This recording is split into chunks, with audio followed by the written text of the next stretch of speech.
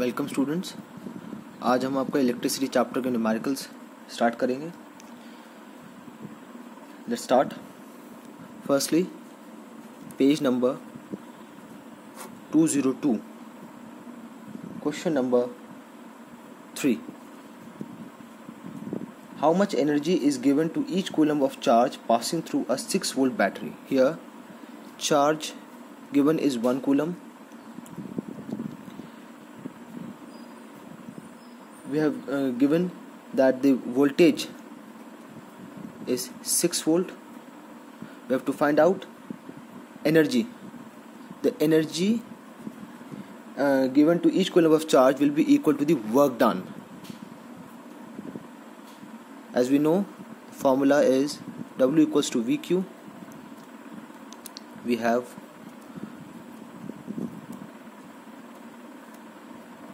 six joules Question number 2 What is meant by saying that the potential difference between two points is 1 volt? Here basically we have to define 1 volt. We have the formula V equals to W upon Q. Potential difference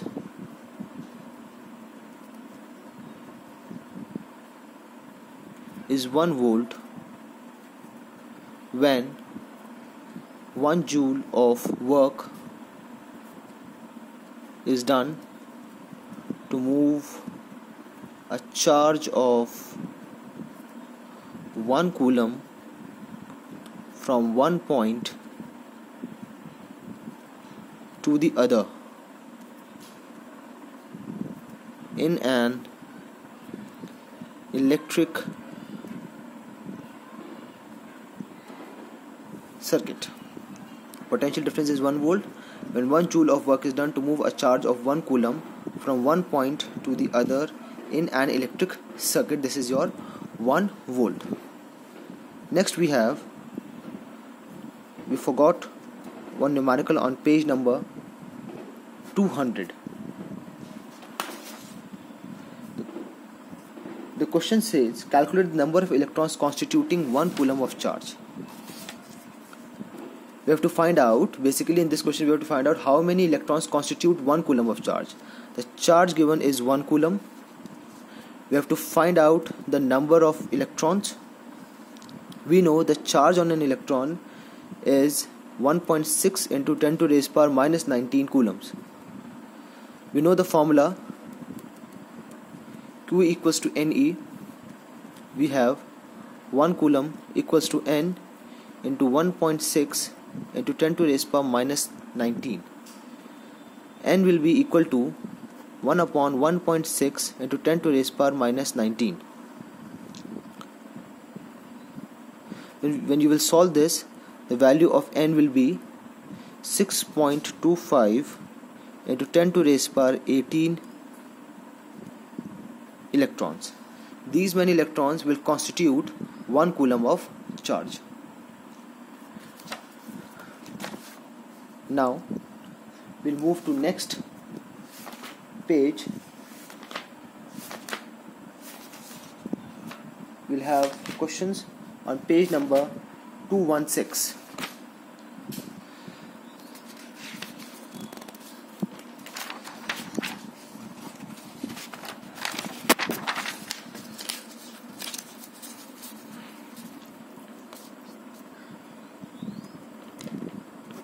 page number 216 the question says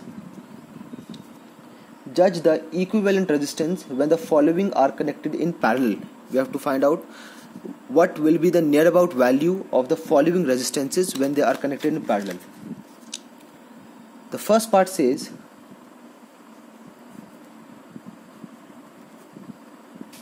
one coulomb and 10 to raise power 6 1 ohm and 10 to raise power 6 ohm when they are connected in parallel. We know the formula for resistances in parallel 1 upon Rp is 1 upon R1 plus 1 upon R2. here the resistances R1 and R2 are 1 ohm and 10 to raise power 6 ohms respectively. The LCM will be 10 to raise power 6 and the value of Rp will reciprocate it to the value of Rp will be 10 to raise power 6 upon 10 to raise power 6 plus 1 when solve this value it will be less than 1 so the equivalent resistance in this case will be less than 1 we only have to judge we don't have to find the values. The second part says the second part of this question. Has values 1 ohm 10 to raise power 3 ohm and 10 to raise power 6 ohm. Again we'll use the formula of resistances in parallel for three resistances. 1 upon rp equals to 1 upon r1 plus 1 upon r2 plus 1 upon r3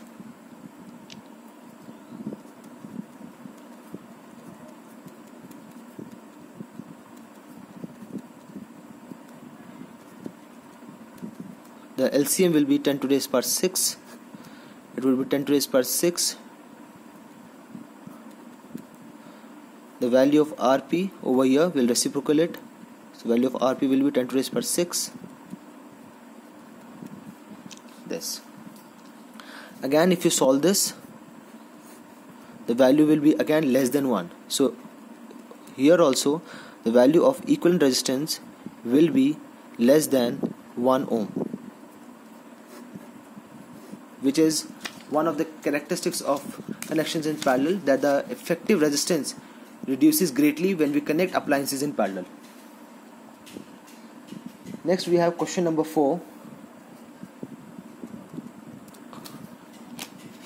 How can three resistors of resistances 2 ohm, 3 ohm and 6 ohm be connected to give a total resistance of 4 ohm and 1 ohm respectively? We have been given three resistors. The question says you are being given three resistors 2 ohm 3 ohm and 6 ohms respectively.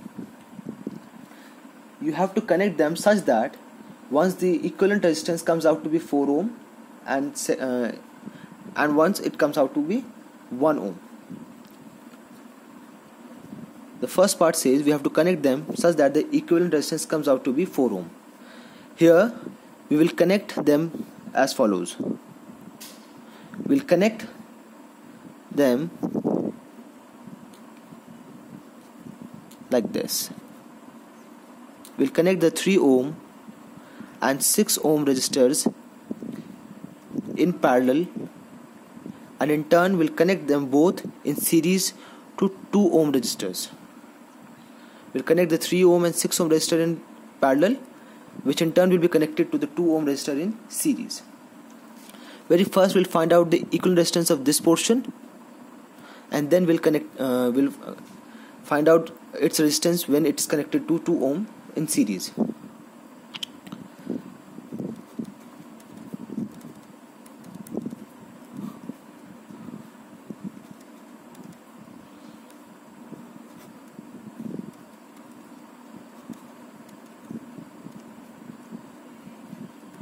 R will be equals to 6 upon 3 or 2 ohm. yani we can replace 3 ohm and 6 ohm connected in parallel with a 2 ohm resistor so now the circuit will uh, now the connection will be like this. 2 ohm and 2 ohm. Because 3 ohm and 6 ohm when connected in parallel gives out equivalent resistance as 2 ohm. We can replace both of them by a 2 ohm resistor so then now so now we'll have the connections as 2 ohm and 2 ohm connected in series. Now the total resistance will be R1 plus R2 that is 2 ohm plus 2 ohm or 4 ohm. This is when we want the equivalent resistance to be 4 ohm. Second part says the equivalent resistance to be 1 ohm. We'll connect all three of them in parallel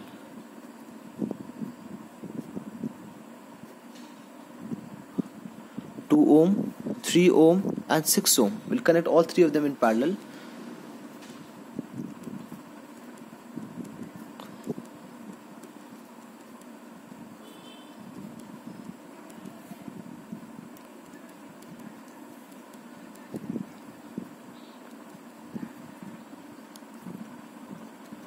The LCM will be 6 2 3s are 3 2s are and 6 1s are. Then we have 1 upon rp equals to 6 upon 6 or rp as 1 ohm.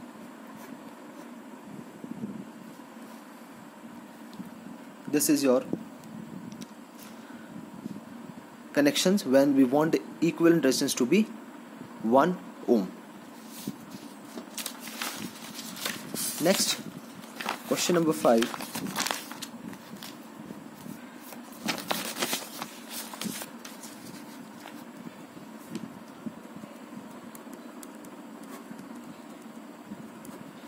the question says what is the highest and the lowest total resistance that can be secured by combination of four coils of resistance 4 ohm 8 ohm 12 ohm and 24 ohm resistors? We have been given four resistors of the following resistance. 4 ohm 8 ohm 12 ohm and 24 ohm. Firstly we want them to be connected such that we get the highest resistance. So we'll connect all of them in series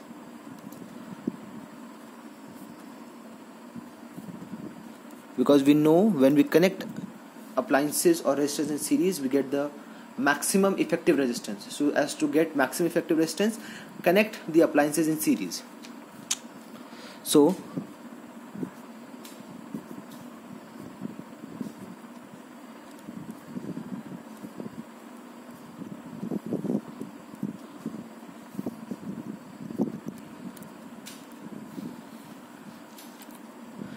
by connecting them we get the equivalent resistance as R1 plus R2 plus R3 plus R4 then it will be 4 8 12 and 24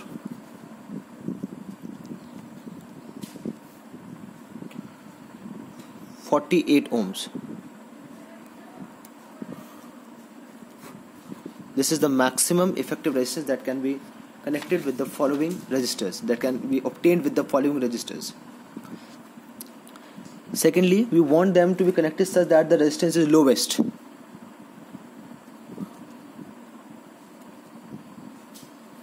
Lowest resistance we want. As we have already studied so as to get lowest resistance the the connections should be made in parallel. So if we connect all of them in parallel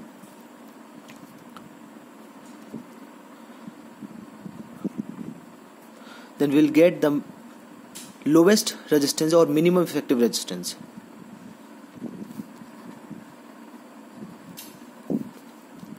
Then the equivalent resistance will be 1 upon r1 plus 1 upon r2 plus 1 upon r3 plus 1 upon r4 we have 1 upon 4 plus 1 upon 8 plus 1 upon 12 and 1 upon 24 LCM will come out to be 24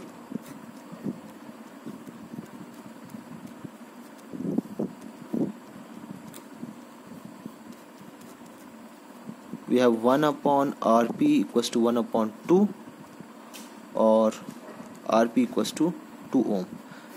This is the minimum effective resistance that we get when we connect them in parallel.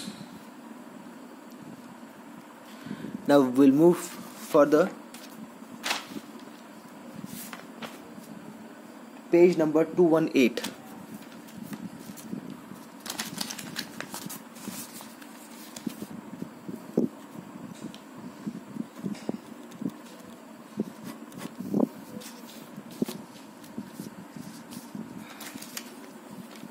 we have question number 2 Compute the heat generated while transferring 96,000 coulomb of charge in 1 hour through a potential difference of 50 volts. We have been given charge value of charge is 96,000 coulomb. Time given is 1 hour. V is 50 volt. We have to find out the heat generated we'll find out the heat generated.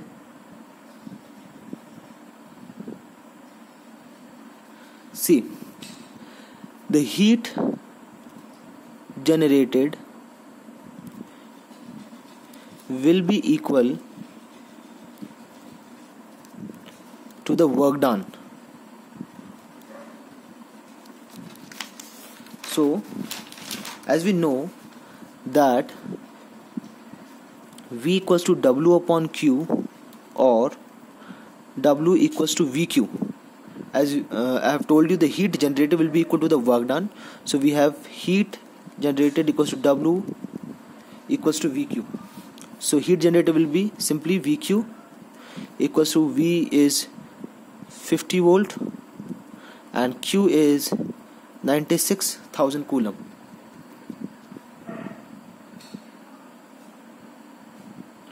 It will be equal to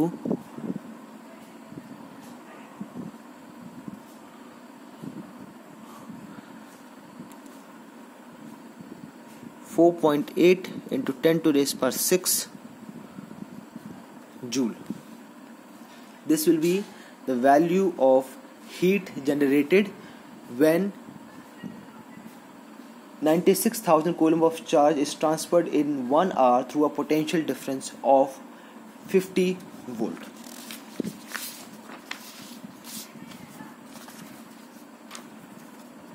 Coming back to question number 3 of page number 216 we have the question says an electric iron of resistance 20, 20 ohm takes a current of 5 ampere calculate the heat developed in 30 seconds. The resistance given is 20 ohm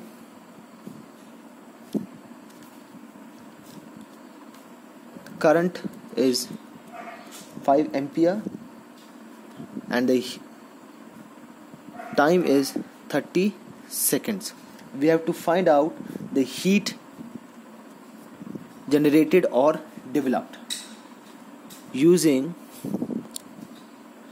Joule's law of heating.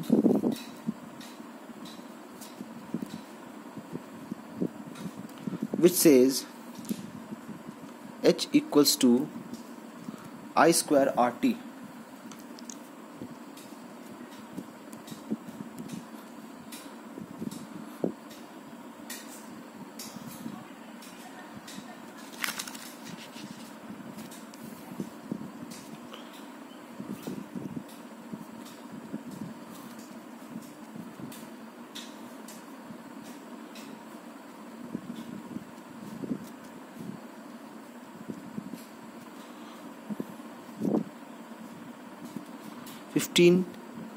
1000 joules. This will be the heat generated when an electric iron of 20 ohm takes a current of 5 ampere for 30 seconds. Now we'll move back move to question number 2 of page number 220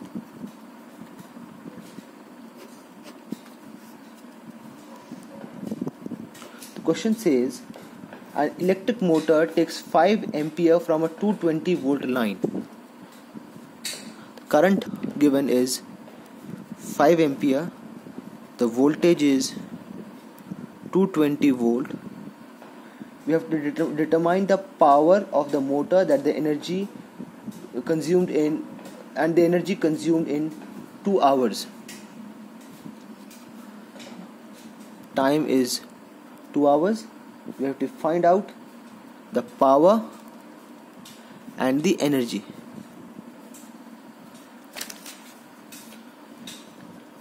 We know the power of formula is p equals to p equals vi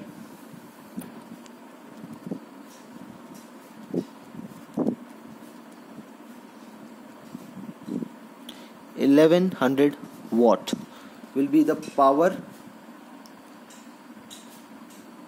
of the motor. Now we are uh, we also have to find out the energy consumed.